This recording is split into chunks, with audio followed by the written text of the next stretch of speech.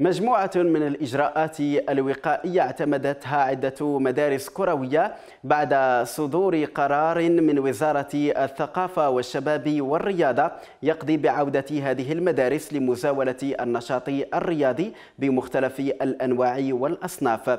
أكاديمية كريمو لكرة القدم بمدينة الدار البيضاء مثال لذلك. اعتمدت هذه الأخيرة على عدد من الإجراءات الوقائية. نتعرف عليها أكثر في روبورتاج رضوان أدريس بكاميرا بدر مجاده بعد مرور أزيد من ثلاثة أشهر أغلقت خلالها أبواب مختلف المدارس الكروية والصالات الرياضية بسبب انتشار فيروس كورونا المستجد. أكاديمية كريمو لكرة القدم عادت من جديد لتفتح أبوابها لكن بقوانين وإجراءات وقائية مختلفة قد لا يتعود عليها هؤلاء الأطفال منذ الوهلة الأولى. هذه فترة ديال أسبوعين اللي كنقوموا بالتدريب ديالنا بشكل بشكل بشكل بشكل عادي. آه، مع احترام بيان آه، سور للإجراءات أو الاحترازات الوقائية اللي كتوصي بها الجامعة ولا الوزارة المعنية.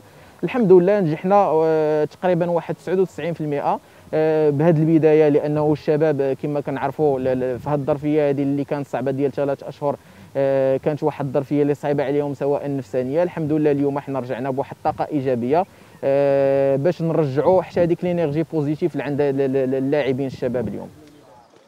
قبل انطلاق الحصة التدريبية الصباحية وقبل ولوج التلاميذ لأرضية الملعب يتم تعقيم اللوازم الرياضية ومختلف المرافق. ملصقات إرشادية تظهر الإجراءات الواجب اتخاذها كارتداء الكمامات وتعقيم الأحذية وغيرها تفاديا للإصابة بالعدوى. الحصة التدريبية لا يجب أن تتعدى عشرة لاعبين كحد أقصى مع احترام التباعد الاجتماعي.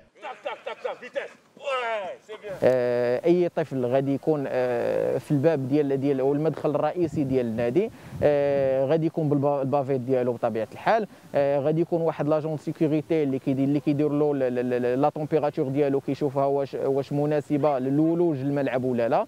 عاد كتكون المرحلة الثالثة هي تعقيم ديال اليدين وكيكون واحد واحد الطريق اللي déjà مخطط لها الولوج إلى الملعب الرئيسي. تبقى المسؤولية إذا ملقاة على عاتق المشرفين على هذه المدارس الكروية بشكل مضاعف ما بين تلقينهم للدروس والحصص التدريبية وبين الحرص على عدم الاقتراب واحترام التدابير الوقائية الموصى بها من قبل الجهة الوصية.